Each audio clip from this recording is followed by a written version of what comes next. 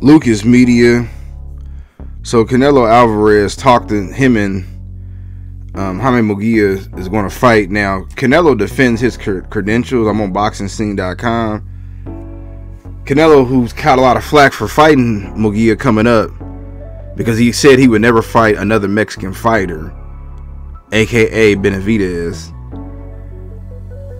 But he's defending Jaime Munguia's resume, and he has to say, quote, I said I wouldn't fight against a Mexican fighter, but someone respectful like Munguia, who's earned his chance fight after fight, is something that I'm glad we're able to make happen.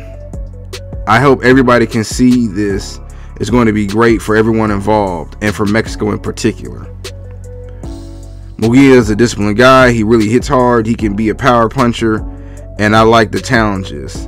I want to go after the hungry fighters like Munguia who want to give all inside the ring and give the fans what they deserve. I'm really proud of what's going on. It's going to be an amazing week, full of Mexican pride, full of fans out in the street showing their pride and being able to drape the flag all over the show the world what kinds of Mexicans can throw, what kind of party Mexicans can throw.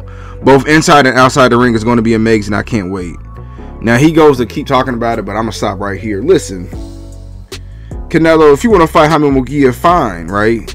But why you can't fight David Benavidez as well? You really don't think the fight will be bigger with David Benavidez? And how you go from saying I won't fight a Mexican guy, but I'll fight that Mexican that Mexican fighter? Man, fan of Canelo, but man, this cherry picking got to stop. Honestly, it really got to stop. And whenever I make videos, I got people in my comment section. Oh well, uh, the black fighters, man. You used to complain about the black fighters. Then he fought the black fighters. Well, he did, but you got to see when he fought them. Watch Andre Ward video about it. You got to see when he fought them and how those fighters were. None. It wasn't like he was fighting in 2017, 2018 when we was calling for the fights. Um, what Charlo was that? Jermell Charlo was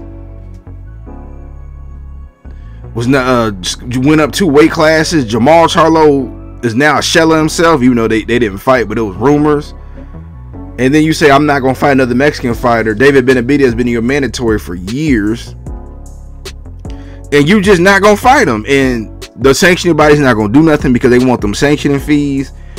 Now Michael Benson did come out and say that Canelo uh, told reporters he wants anywhere between 150 and 200 million dollars to fight David Benavidez.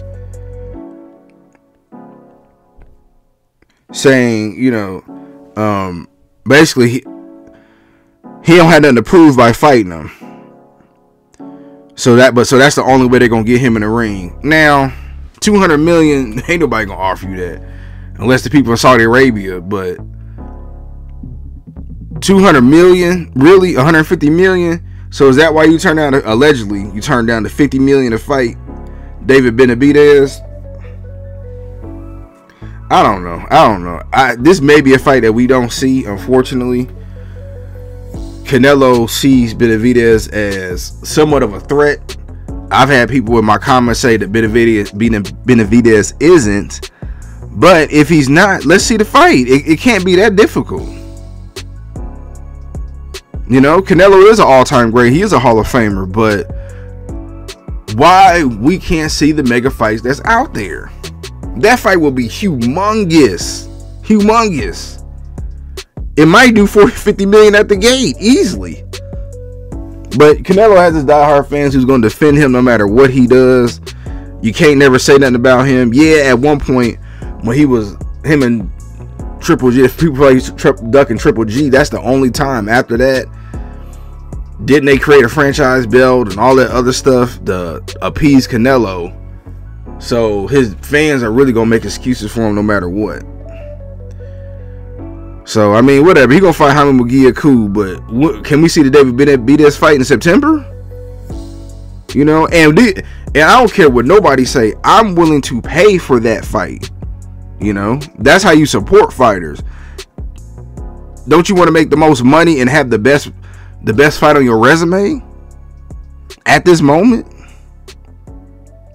So I just want to give my quick thoughts about it. What y'all think?